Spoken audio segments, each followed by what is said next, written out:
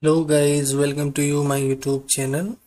So before watching the video please like share and subscribe my videos to get the notification about the new videos right? So in this video we will learn how to insert or delete a row and column from the worksheet right? Insert guys actually write mm, insert a row or delete a row is the most frequently asked question into the interviews so i'm going to write a program how to insert or how to delete row and column from the worksheet. Right. So for this i'm going to write a subroutine which name is insert or delete. Right. So guys first you need to select the sheets where you have to perform the task. So for this i'm going to declare one variable which name is sst type of worksheet. So now i'm going to set these variables to the worksheet. So for this i'm using a current workbook right? So i'm using a this workbook. And need to select the sheet so i'm going to select the seat 1 you can pass the index value as well 1 2 or 3 right so i'm passing the name of the seat. Right so i'm going to first select the rows where i want to insert a row. So first i'm selecting the row number 6 right then select now hmm, selection.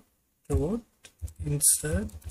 You already know that what is the selection. Selection is a method to select the part which is already select right? So now i'm going to write a shift method. Guys you already know the shift what is shift. Guys when we are going to insert a row so excel would be shifted to the downside right so I'm going to write xlDown formula. So before execution the program you can see the file where I'm going to insert a row. Right so the so row would be inserted between row number 5 and 6 between this and this right? Now I'm going to execute the program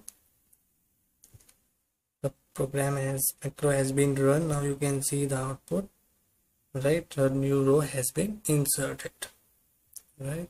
So now i'm going to write a program how to delete the row. So i'm just commenting this part. I want to delete the row number six which i already which i have inserted. Right i don't want right? So i don't want you know just deleted any row. I just want to delete a row which I inserted newly right? So for this selection to delete what need to apply the shift formula. Excel right so guys. When you are deleting a row from the excel so excel would be shifted to the upper side right? So for manage this you have to write that function as well. So i'm going to so before execution the program you can see the sheets worksheet right? So after the execution this row would be deleted from here. All right. So now i'm going to execute the program program has been executed. Now you can see the output. Right? The blank rows has been deleted from here which I was inserted. Right? So the rows inserted and deleted part is completed. Now I'm going to how to insert a column or to delete a column. Right? So now I'm commenting this part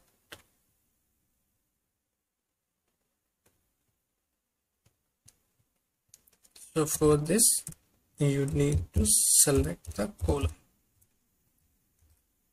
I'm selecting B column. And select. Right. Let me show you the worksheet. Guys I want to insert the column between column A and B. So, right. So I'm selecting the whole column B then insert the column. Right so new column would be added between A and B column. So let's go on the coding video now I'm going to write a code selection dot insert right? And again need to apply the same guys when we are going to add column into the worksheet so worksheet would be shifted to the right side right.